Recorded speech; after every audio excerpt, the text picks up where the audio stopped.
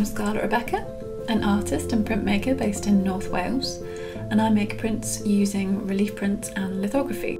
But in this video I want to talk to you about what happens to my old spare prints that end up filling up my storage drawers. I recycle them and turn them into something new, like these baskets.